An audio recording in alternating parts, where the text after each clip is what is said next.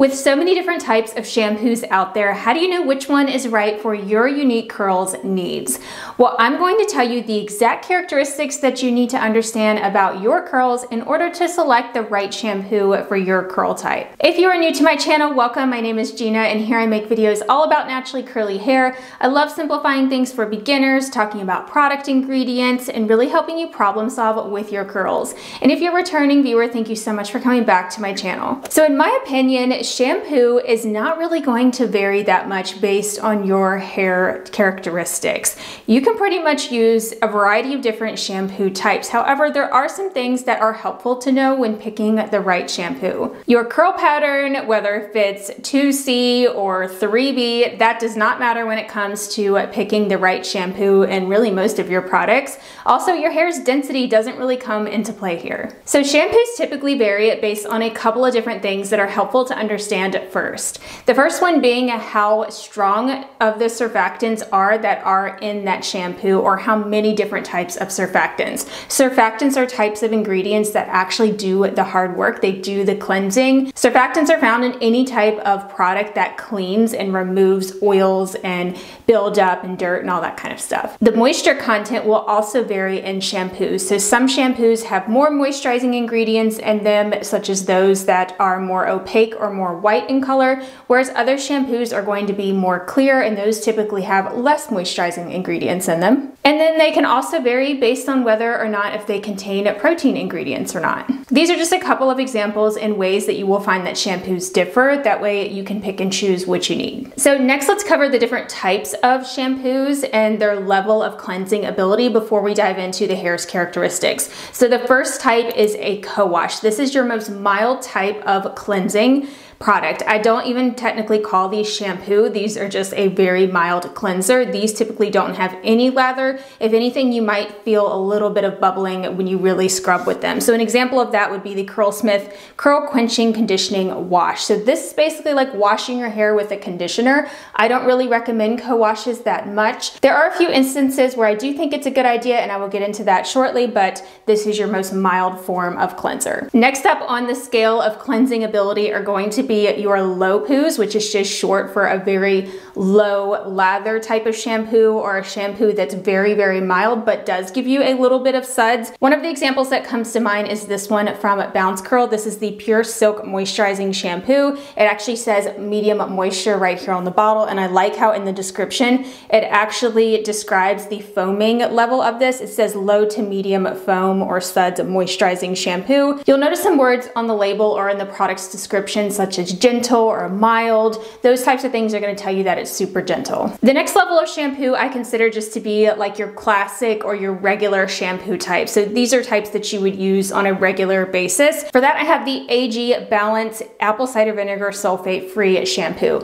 All of these are sulfate free, by the way. I typically do advise that for naturally curly hair, unless if you're going to be clarifying, which I'll get into that. But this is a great example of just your everyday type of shampoo that you can use fairly frequently. I mean, I don't recommend shampooing every day, but you could use this a couple of times a week and it's not going to dry out your hair. And this usually gives a pretty high lather. Then there's an even stronger type of shampoo and these are usually labeled as a clarifying shampoo. Sometimes you will see them labeled as detox or something like that. So for that, I have the Twist by Ouidad Hit Reset Light Clarifying Shampoo. This is one of my favorites. It's very affordable on Amazon, which is nice. This even says on here that it's very low moisture, which means it's going to be very strong. Typically, the more moisturizing ingredients that you have, the less cleansing ability. Sometimes it definitely can differ, and we're not chemists here, so we have to think about how there's an entire formulation to consider. So that's why I'm not calling out specific ingredients because there might be different levels of each surfactant or they might work differently when combined with different ingredients. So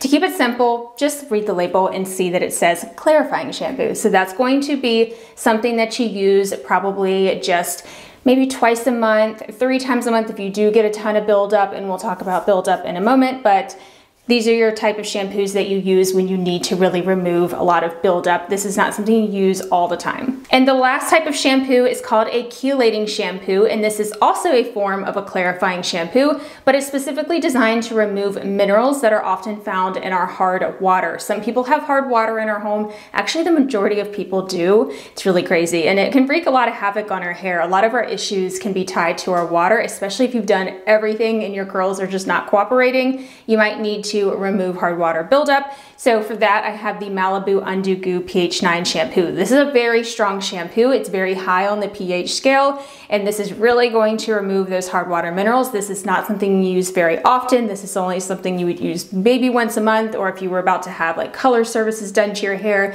I always follow up with a deep conditioner. They also have one called the Hard Water Wellness. They have very similar ingredients.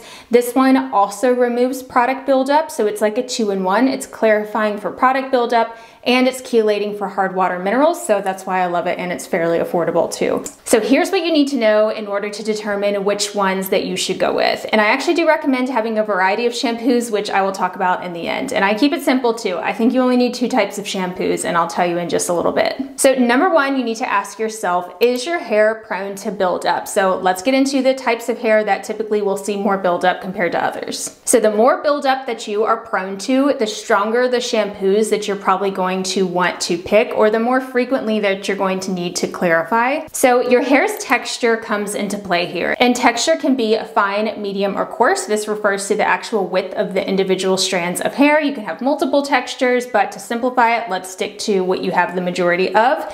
And people who have very fine hair are very prone to buildup and it gets weighed down very easily. So if you're using a lot of products that contains things like silicones, butters, oils, emollients, things that really adhere to the hair, your hair might get very weighed down and you need to use a harsher cleanser to remove it. And you should probably be avoiding some of those ingredients overall. And porosity also comes into play here. Porosity is how well our hair can absorb and retain moisture. And our cuticle layer, which is the outermost layer of our hair, will vary based on your porosity. People who have low porosity hair have a very tightly bound cuticle and so they can get product buildup very easily because everything just sits on the surface. Products don't easily absorb into the hair. Those are just some things to consider, but overall, anybody can get buildup with certain styling products and any porosities can also experience buildup. Some are just more prone to it than others. So the next thing you want to ask yourself are, do you use a lot of products that lead to buildup. So are you using styling products on your hair that can contribute to more buildup? Because depending on the products that you're using on your hair on wash day and even to refresh throughout the week, you might need a stronger shampoo when you go to shampoo the next time to get rid of those so that way you don't get buildup. So ingredients that adhere to the hair can build up on the hair over time, especially if you're layering them up with refreshing. So these are things like polyquats, which are ingredients that I actually love for humidity. They do a great job. It's sort of like waterproofing the hair, not completely, but they do create a film on the hair that helps keep the humidity out. Silicones are also used in this way where they coat the hair. They're conditioning ingredients. They do bind to the hair, especially those that are not water soluble. And then you have oils and butters, which are obviously going to repel water. And then you also have film forming humectants, which are great for moisturizing the hair, but they still create a film on the hair. These are probably the least likely to build up on the hair. And so these are gonna be still good options for moisture, but you just have to keep that in mind that they are creating that film on your hair. So these types of ingredients are ideal for our hair, especially when it comes to styling, because that's what adds shine and helps create definition and can protect our hair and keep our curls lasting longer throughout the week. And then also if you deal with humidity. So that's why I still like to use products that do create a little bit of a barrier on the hair so that way I actually like how they look and they hold up. And I just have to use stronger cleansers, but I'm not drying out my hair by using a bunch of and I'm still conditioning the hair afterwards. So the shampoo is gonna remove it all then we're gonna condition so it's gonna be fine. So if you're someone who is prone to a lot of buildup, but you don't want a shampoo that's going to strip the hair and you just need a regular everyday shampoo, or not every day, but one to use more frequently, I would recommend something like this from Dove. This is actually very affordable. I wanted to make sure to include some drugstore options too. This is the Hydration Spa shampoo. It has hyaluronic acid serum in it, so it's actually going to be hydrating and very moisturizing for the curls. Not every shampoo that is like with a stronger surfactant is going to be drying, which is nice. A lot of times they will combine more moisturizing ingredients in it, and this is a good example of that. So this is something that you can use more frequently. I would use it maybe once a week or so. It's not going to be full on clarifying, but it is going to effectively remove those um, ingredients from your hair that can build up. Another thing that's helpful to know is that shampoos are usually designed to work with the styling products that are also from that brand or within that line. So for a brand like Dove, a lot of their stylers contain silicones. So then you know that their shampoos are going to be definitely able to remove silicones so that way it's not going to build up on the hair or anything. So that is one thing I like to keep in mind is when I'm using products from a certain line that I know are probably going to build up, like if they have a lot of polyquats or silicones, then the next time that I shampoo my hair, I use a shampoo that is either from that line or a similar line that I know is going to remove that because hopefully brands are not formulating their shampoos to where they can't effectively remove the styling products that are also part of that line. So that's just a little tip to keep in mind. So next you'll want to consider how often you need to wash your hair. So this can vary based on a couple of factors. One being how much oil your scalp naturally produces. This is determined by our hormones and genetics and other internal factors. You can't influence the amount of oil that your body produces. So some people just naturally produce more oil. And so they're going to have more of that sebum on their scalp, which is probably going to require a stronger shampoo in order to remove it. People who have very oily scalps are also going to have to shampoo more frequently. Now, I always like to advise against shampooing every single day because that can definitely dry out your hair and can cause things like hygral fatigue, which causes permanent damage to the hair. But you also don't want to have a ton of oil building up on your scalp scalp, especially if combined with things like dry shampoos or products that contain oils and butters too. You don't want those to build up that can clog your hair follicles. So unfortunately, with super oily scalps, you're going to have to shampoo a little bit more frequently. And people with dry scalps are the opposite to where you don't produce that much oil. My scalp is probably more normal to dry, but I can go seven days and I just have a little bit of sebum on my scalp, but it's not even enough to feel like I definitely need to shampoo, but my hair definitely needs to be shampooed by that point. So I usually shampoo twice a week, but my scalp is not very oily by the end of the week. So this hair type is not going to want to strip the hair too much with very strong shampoos and you also don't need to shampoo too much. I would say two times a week, three max probably. A lot of people with very dry scalps just go one time a week with washing their hair. The other thing you might want to consider is if you're somebody who works a job where you have to shampoo your hair very frequently, like if you're in healthcare or if you work outside and you have a lot of environmental pollutants on your hair and you need to shampoo more frequently. And then there's people like swimmers who can't help it, they just have to shampoo shampoo more frequently. Unfortunately, that can cause some damage in your hair, but you would want to go with a more gentle shampoo. So for people who do have to shampoo their hair more frequently, like every other day, that's when I would recommend using a co-wash. I personally don't love co-washes like I mentioned because they're not that effective at fully cleansing your hair. But if I did have to shampoo very frequently, or if my scalp was not really dirty, but I needed to wash my hair, this is one that I would use because this is the best co-wash that I have tried so far to where I actually do feel like I get a good cleanse out of it, but it's not as great as using a more lathering shampoo in my opinion, but this is a really great option from Curlsmith. So I wanted to recommend a shampoo that is great for those that have very oily scalps or very dry scalps. Both ends of the spectrum can use this. This is the one I mentioned earlier from AG. It's the Balance Apple Cider Vinegar Shampoo. This is still sulfate free, but it contains apple cider vinegar, which is naturally very acidic, so it's going to help to lower the cuticle and smooth the hair back down to its natural state because our hair is naturally more acidic and it doesn't love to be more on the opposite side where it's, you know, being harshly cleansed. So this is gonna help make it just feel soft and smooth. Apple cider vinegar is also great to balance out the scalp, whether if you're very oily or very dry, it can work for both ends. So this is a great option for those who have either one of those scalp issues going on and you can use it regularly. I also wanted to call out that I like the conditioners that go with the majority of these shampoos. So if you're wanting conditioner recommendations, I am gonna make that video next, but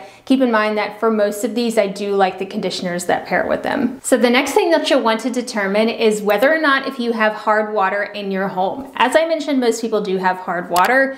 especially if you're in the US, you can look it up. You can also ask your local water company. Fortunately, mine is not super hard, but I still do work in shampoos that remove hard water buildup just in case. But a lot of people do suffer from damage to their hair from hard water. It can just build up on the hair those minerals like calcium and magnesium, and it can really affect the way our hair feels. It can feel very brittle, and it feels like it has buildup on it that you just cannot get rid of, so the hair can become dry and dull. And a lot of times if people are really struggling to figure out what's wrong with their hair and nothing works, sometimes it can be from their water. And really the only fix for hard water is to get a water softener system in your home. Obviously this is only available to those that do own a home and can add one in and obviously that is pricey but it is the main fix for the problem because then it will fix it for your appliances and your clothes and everything else aside from just your hair because if not you're just going to be fighting an uphill battle with trying to remove it and then you just get built up again. It can be a pain. I also wanted to note that shower head filters do not filter out hard water. It's not something that can be filtered out. You have to add salt in. So a water softening system actually does add salt. You have to add salt to it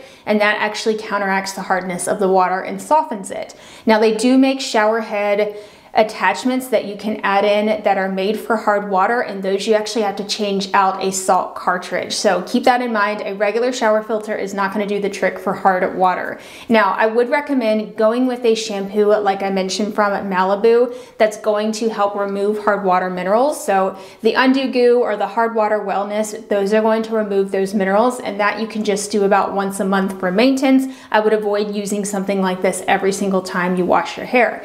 But when it comes to your regular shampoo, you might notice that it doesn't lather very good if you have hard water. So maybe you wanna look for a shampoo that contains some of the ingredients that do chelate, but maybe just not as much of them so it's not too harsh.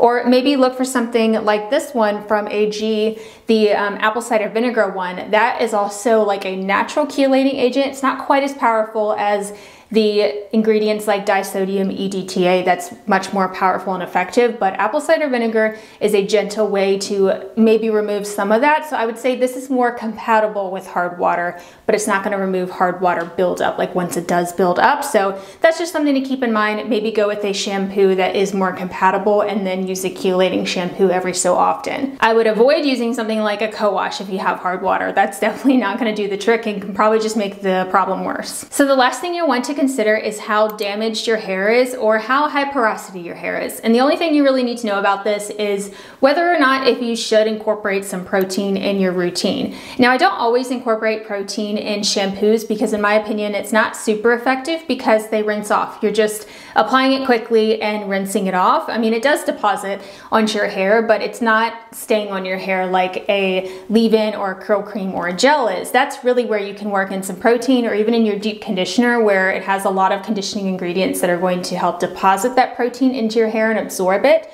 So for shampoos, not a huge deal, but I would say if you are somebody with very high porosity hair that's very damaged and you do want to work protein in, look for a shampoo that contains some protein ingredients. If you are somebody with very low porosity hair, you might be protein sensitive, so I would avoid protein in your shampoos. Another thing to call out when it comes to protein in shampoo is if you're someone that doesn't really need a ton of protein, especially if you just have healthy hair or medium porosity hair, you wouldn't really want to overdo it with protein, so that's where I would avoid it in shampoos and maybe even conditioner and just use it in like one of my stylers. I wouldn't want it in every single product in my routine because that's what can lead to protein overload is when you're including it in everything and using those same products very frequently back to back. So I wanted to shout out a couple of options for shampoos that are protein free and some that contain protein. So this is a new recommendation of mine. This has become one of my all-time favorite shampoos along with that AG one that I showed. This is the Ouidad Unbreakable Bonds Bond Building Shampoo. This one does contain protein, but it also has bond building technology in it. And it's also um, fragrance free, which is nice, hypoallergenic, but it's also really good at softening the hair and lowering the cuticle. This has a very low pH. So this is like the opposite of this one. If you've ever noticed that your hair feels like super squeaky clean afterwards, or it feels like it's been stripped, that's from a high pH shampoo, whereas a low pH shampoo almost feels like your hair has been conditioned. Our hair, as I mentioned, is naturally more acidic, so it really likes lower pH stuff. And so this is still very cleansing in my opinion, yet it makes the hair very soft. So for people with high porosity hair, definitely an option, especially with the bond building technology that's going to repair the broken bonds in your hair to help strengthen it. Also contains some protein in it and it has sodium C14 16 olefin sulfonate, which is an ingredient that actually does work to remove product buildup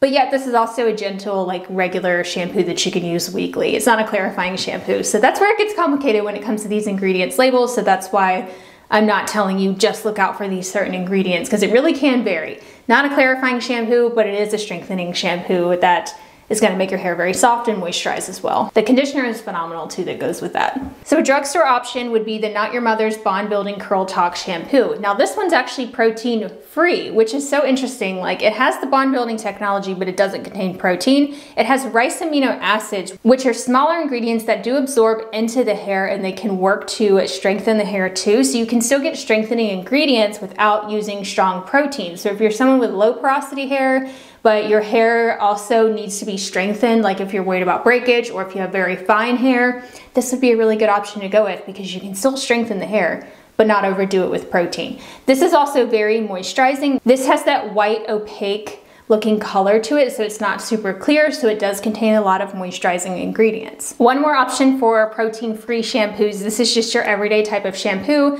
Another drugstore option, this is the Umberto Giannini Curl Jelly Wash Curl Defining Shampoo. This is a very moisturizing shampoo. It has a really light pink white color so it is opaque. It provides a lot of moisture. It also helps with shine but it is very effective at cleansing the hair without having harsh sulfates. I see quite a few different surfactant ingredients in this and also a lot of conditioning ingredients. So this is your great just everyday shampoo that you could use probably up to two, maybe three times a week. So all of this to say you really only need to have two types of shampoos in your arsenal. So I recommend having a clarifying shampoo on hand and a regular shampoo. It's the regular shampoo that you'll want to look at to figure out how cleansing that one should be based on all the factors that we just talked about. But I would say the main thing to consider is the products that you're using when you're styling your hair.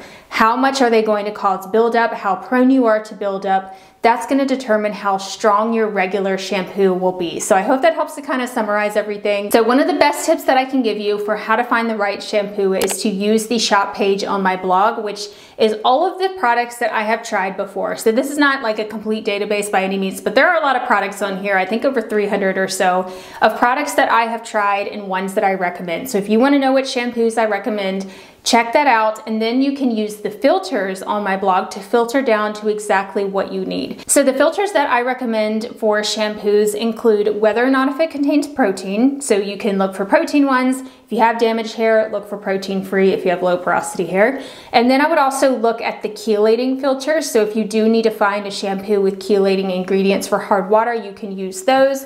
I don't have filters on there for like lather level Pretty much the majority of the shampoos that I recommend are going to have a pretty good lather with the exception of the super low poo ones that I recommended or the co-washes. Those are definitely gonna be more mild, but for the most part, I really like a shampoo with more lather. So I don't have that filter on there, but let me know if that's something you would want me to add because I could certainly do that and just label it based on the lather level. But it's gonna vary so much based on how much product buildup that you have on your hair and also how hard your water is. Like people are going to get different lather levels, but for the most part, I really like a high lathering shampoo, so that's what a lot of those are. So all of these products that I recommended, I will have linked in the description box down below. You just expand the bar that's right below the video's title and you will see all of those links. And if you need some more help picking products based on your curl type, check out the video that I just posted recently where I picked styling products for my followers based on their hair's texture and porosity that they submitted. I will have that video linked right here on the screen. There's lots of recommendations in there and I include every single combination of porosity and texture.